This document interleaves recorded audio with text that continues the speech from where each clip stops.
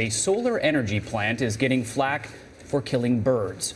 These facilities in the desert are supposed to be the future of clean energy, but now federal wildlife officials want to pause their expansion until they get a handle on the growing number of bird deaths. It looks like a mirage in the middle of the Mojave Desert, but it's actually 170,000 sets of mirrors the size of garage doors called heliostats. How much power do you get from each one? So this project will fuel 140,000 California homes. So effectively, one heliostat can power one California home. So Tom Doyle is the CEO of NRG, the company behind this $2.2 billion solar project. It's now under fire because the heat it produces, up to 900 degrees, is charring the feathers of birds flying through, often causing them to crash and die.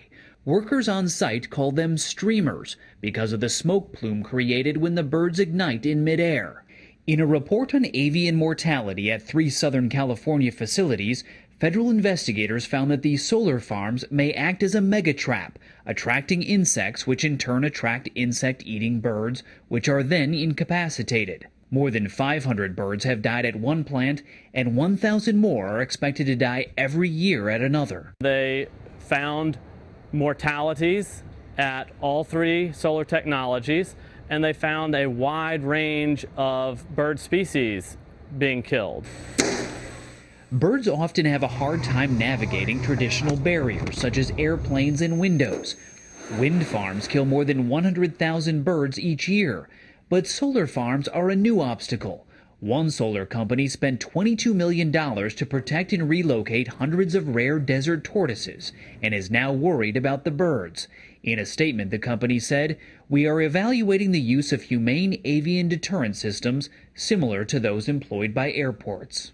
Other solar fields are planned for the California desert, including one near Joshua Tree National Park, which is on a well known flight path for migrating birds, eagles, and falcons. So right now there is no solution, but the solar plants plan to experiment with everything from light, sound, and even drones to try to scare the birds away so they can keep on flying. 900 degrees. 900 degrees. Wow. All right, Ben, thank you.